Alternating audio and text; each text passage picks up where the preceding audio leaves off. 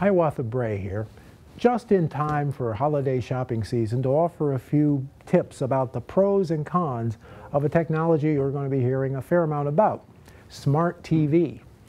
This has been around for a few years now, and little by little these TVs actually are starting to develop something of a brain.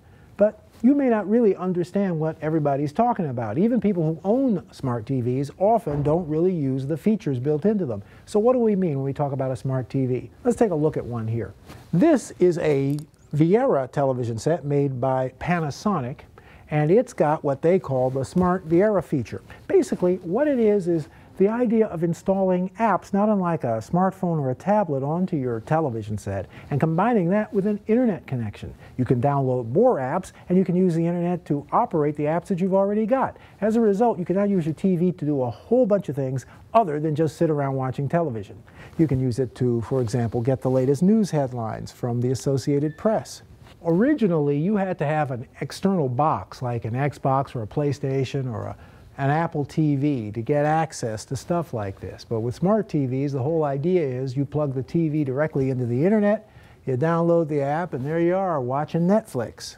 Or you could use the Picasa internet service to show off your favorite photographs. And you can do all this directly out of a smart TV without needing any other kind of a box. Smart TVs have been around for a few years now, and consumers have sort of shrugged. But they really are just now starting to come into their own. They're starting to develop smart TVs with more powerful processors and some features that make them a lot easier to use. For example, there are now some smart TVs with speech recognition. You can actually talk to the set and tell it to do things, but there are still some significant barriers to smart TVs really fully catching on. For one thing, lots of people are buying devices like game machines and external boxes like Apple TV, which do many of the same things. And so people aren't even hooking up their TVs even when they own a television that has these smart features.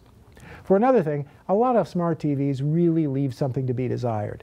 Their processors still aren't sophisticated enough to do things as well as they should. You know how much time I spend dealing with technology, but I have to tell you, when I recently bought a new smart TV, it really confused the daylights out of me. The documentation that comes with a lot of these devices just isn't enough. They don't provide you with enough detailed information. So you may find yourself puzzling over exactly what you can do and how to do it. On the other hand, the ability to check the weather and do your uh, Facebook messaging and, and read the latest news headlines while sitting directly in front of your TV might appeal to quite a few of you. From the Tech Lab, this is Hiawatha Bray.